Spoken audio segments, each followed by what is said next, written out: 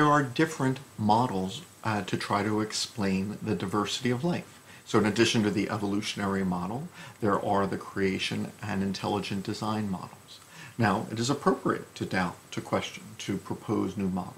That is what scientists are supposed to do. But then one should then test these models.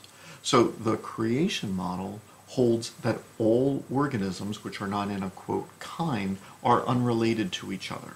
That um, once uh, that at some point in perhaps not the uh, too distant past, that all organisms appeared and that this was a sudden supernatural event, not a gradual biological change. So when one compares the biological molecules, the uh, DNA sequences, the amino acid sequences of proteins, one should not necessarily expect to see relationships between organisms which are 100% unrelated one should not see a pattern of similarities, like the nested hierarchy pattern of um, that the evolutionary model predicts if organisms are equally unrelated.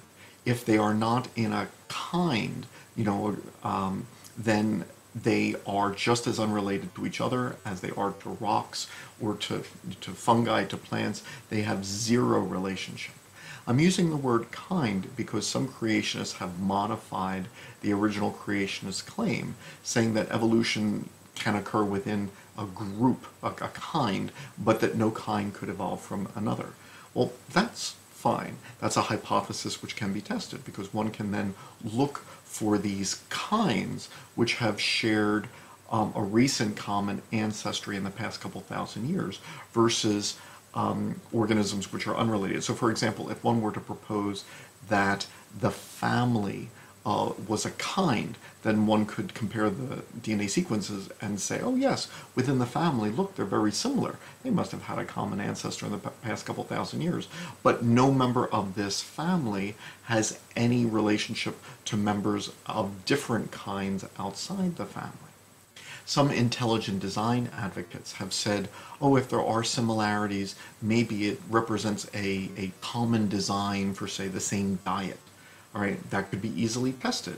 In this model, say, herbivores would then have similarities um, because the similarities are based on their common diet compared to, say, carnivores, which would have a completely, you know, different uh, set of similarities or, or, or sequences. So these models make predictions which can be tested. And given that an overwhelming number of genetic studies have been performed, it would then be easy, you know, to evaluate do the creationist and design predictions match the observations uh, in genetic comparisons uh, between living things? And the answer is a resounding no. There is no evidence for the creation and design predictions. In fact, the uh, overwhelming amount of evidence that has been uh, obtained overwhelmingly refutes these predictions.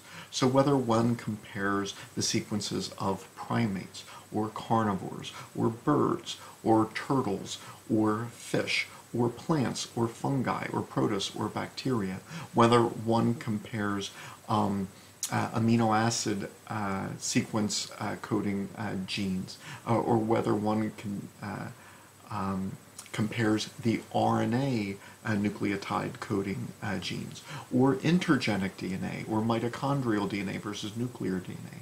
No matter the comparison which is performed, the results are the nested hierarchy of relationships consistent with the evolutionary model uh, which is the exact opposite of what is predicted by the creation and design models.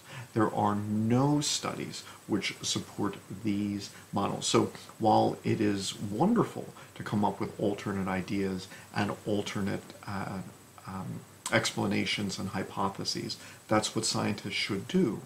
One should then test these and when an overwhelming amount of data refutes a model, it then is rejected as false.